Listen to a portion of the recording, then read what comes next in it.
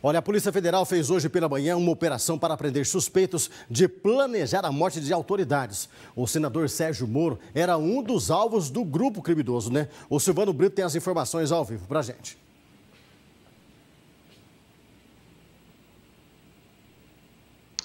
Olha, Cid, essa operação começou hoje cedo. A Polícia Federal deflagrou a operação que investiga, então, integrantes de uma facção criminosa suspeitos de planejar e matar sequestrar autoridades. O ministro Flávio Dino, ele publicou nas redes sociais, palavras dele, foi investigado e identificado um plano de homicídio contra vários agentes públicos.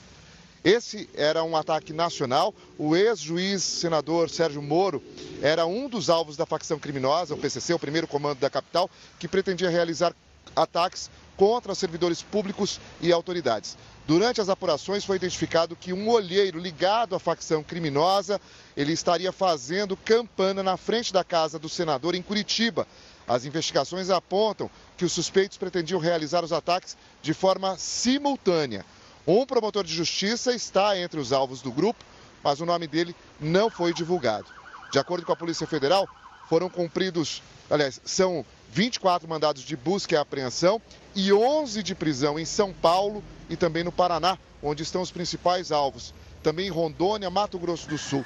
Ao menos nove pessoas foram presas em Campinas e na capital paulista. Segundo a Polícia Federal, uma das ações planejadas pelo grupo criminoso era a extorsão mediante sequestro.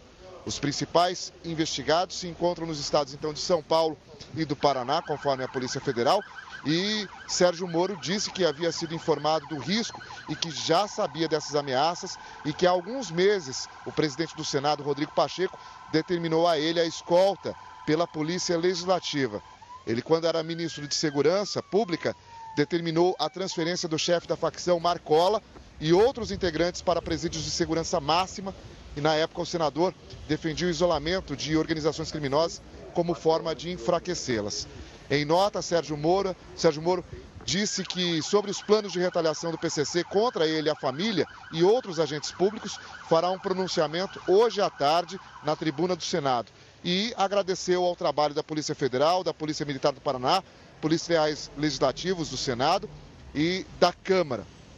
E Sérgio Moro, que esteve essa semana aqui em Londrina, conversou com a gente, falou inclusive da Operação Lava Jato, justamente no dia em que ela completou nove anos. E a gente perguntou para ele é, qual seria aí o pensamento dele em relação à Operação Lava Jato, se ele faria alguma coisa diferente. E ele disse que determinaria mais prisões do que foram realizadas. Vamos ouvir.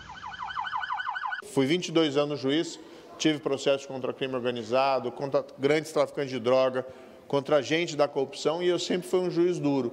Então não me arrependo de nada, não. Eu fiz o meu trabalho. O que a gente tem que lamentar é a reação que houve depois, inclusive a anulação de várias condenações, por motivos de tecnicalidades. Ninguém diz que a corrupção não aconteceu.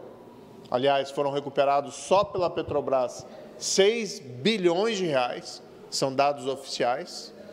A gente viu as contas do exterior, as malas de dinheiro, a gente sabe que aquilo foi real e de repente vem algumas decisões que anulam condenações porque a pessoa é inocente? Não, ninguém fala isso. Inventam lá umas tecnicalidades ou motivos formais e no fundo o que a gente tem, ao invés de justiça, impunidade. Agora, esse tem que ser o alerta para nós, naquele sentido do que eu disse antes. Precisamos estar eternamente vigilantes e lutando pela integridade. Essa operação acontece na mesma semana em que o presidente Lula acabou se pronunciando aí numa entrevista que ele estava gravando para um determinado veículo. E ali ele comenta que no momento em que ele estava preso, ele só pensava é, numa vingança contra Sérgio Moro. E ele até usa um palavrão para se referir a essa situação que ele estava dizendo que quando ele estava preso, o pensamento dele era de vingança. E nesse momento, então, que acontece essa operação, coincidiu com essa fala do presidente Lula. Tudo bem, falava, não está tudo bem, só vai também quando eu foder esse muro. Sabe? Não, vocês cortam a palavra foder. Não, é, é, é, é, quando eu falava assim, olha, quando eu estou aqui para me, eu tô aqui para me vingar dessa gente.